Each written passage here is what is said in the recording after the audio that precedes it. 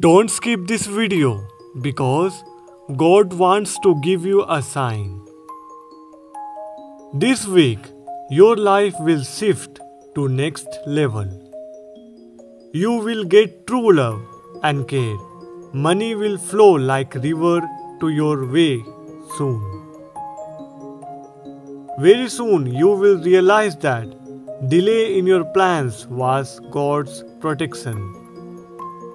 God says, don't run behind things because very soon I will shower blessings on you.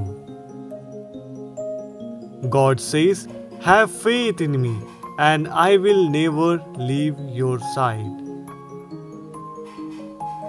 I will guide you and protect you in every journey of your life. Type Amen in comments and get blessed today.